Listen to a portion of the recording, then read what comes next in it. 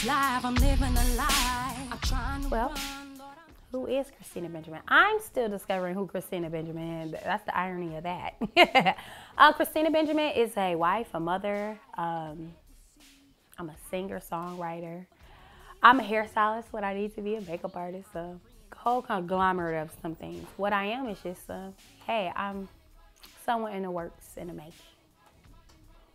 Singing has always been a part of my life even when I wasn't in the front, because actually, to tell you the truth, I never seen myself being in front of a camera, or um, I was one of those closet singers.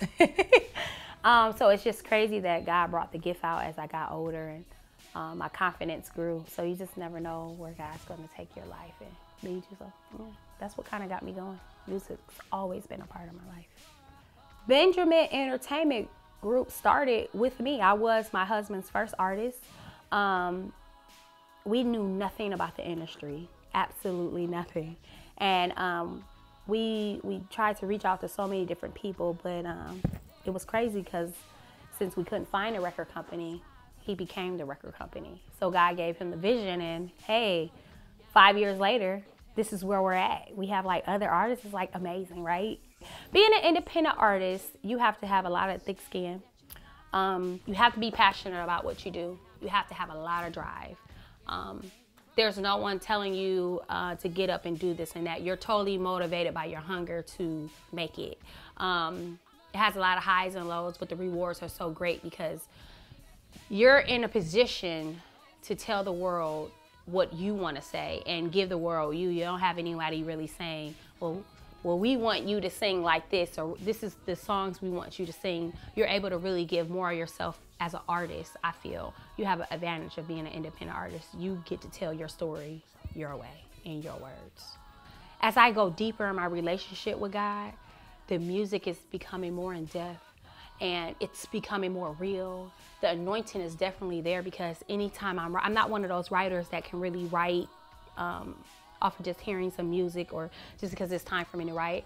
I really have to be inspired by the Holy Spirit, and a lot of my my music is wrote right in worship. So the Lord will download it right into my spirit, and the songs come like that. And that's how I know the anointing of God is on it because it's really coming from a true place of worship because I'm in worship as I'm writing it. So um, it's great. I'm discovering who the Holy Spirit is. He's becoming so real in my life, and I'm so glad that I have that truth.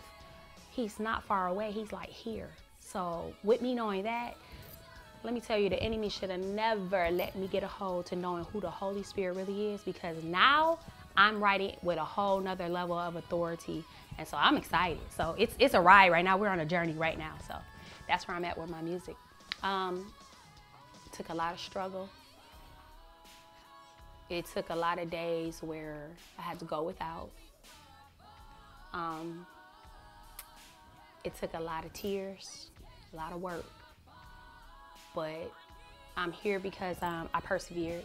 I trusted in God. I never forgot what He spoke in our lives that um, it, um, that we were going to have this entertainment company that He was going to take me to the nations, and you know I was going to be able to minister. And I've seen God time and time again reveal His truth and His word.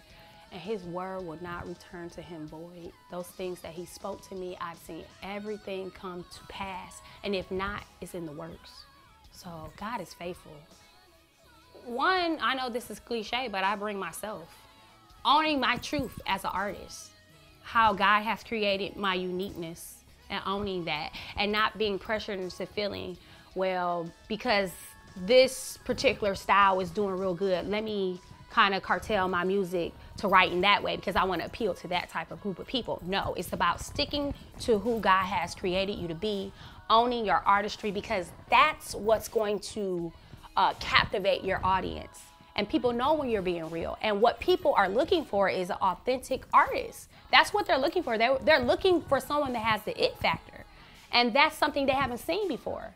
You know, so um, I think what I'm seeing a lot of in our industry is people just trying to sell records and people not really staying true to who they are and who ha- who God has created them to be. So I just feel like God is so complex. It's no need for us to try to make carbon copies of other things. Be yourself. Be who God has created you to be. And I mean, He already has an audience for you. So be yourself.